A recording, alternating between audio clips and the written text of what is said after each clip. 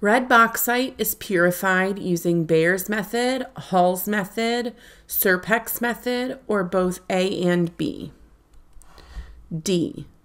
Both Bayer's method and Hall's method are used to purify red bauxite.